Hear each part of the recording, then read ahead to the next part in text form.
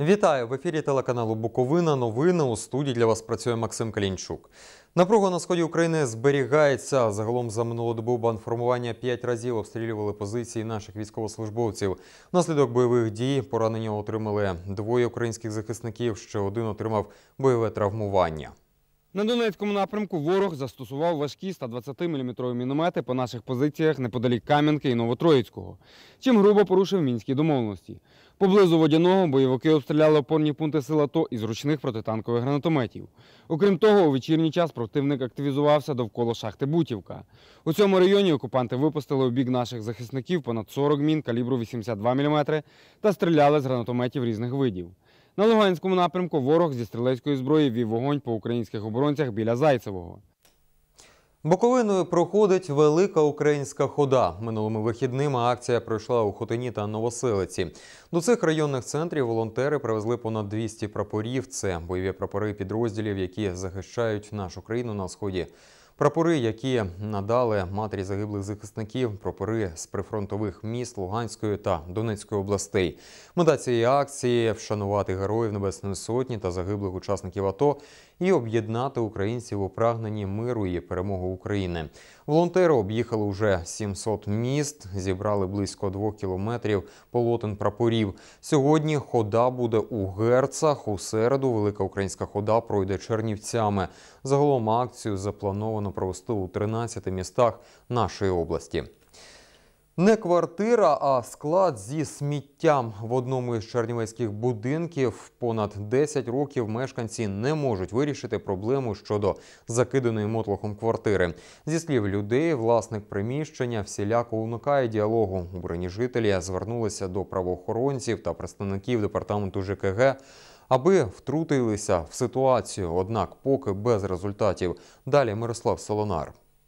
Саме у цьому під'їзді на вулиці Шептицького, 29, живе той чернівчанин, на якого скаржаться сусіди. Ось це двері його квартири. Його вдома немає. За словами сусідів, крім постійного мотлуху та смороду, там ще й була пожежа. Про це свідчать обшарпані та обгорілі двері. Пані Галина живе на третьому поверсі. Сморід із цієї квартири доходить до її оселі. Каже, не раз намагалася достукатися до сусіда, однак він її щоразу ігнорував. Він і далі продовжує зносити до своєї домівки мотлох. Там якісь тряпки, якісь ганчір'я оці, непотреб якийсь. Ну, все, що він знаходить. По смітниках він все це, це його склад. Про те, що за дверима цієї квартири такий мотлох, у мешканців будинку є докази. Ось це дві фотографії, які встигли зробити. Видно й купа непотребу в оселі. Таргани, е, пацюки, миші, е, пліснява, яка йде, дуже вологість будинку, плюс дуже холодно. А враховуючи енергозбереження, там дуже холодно, бо квартира ніяк не опалюється. Наприклад, ми якраз е, над ним у нас пічне опалення, не натопитися дуже холодно. Сусіди дають нам номер мобільного власника приміщення. Телефонуємо, слухавку не піднімає.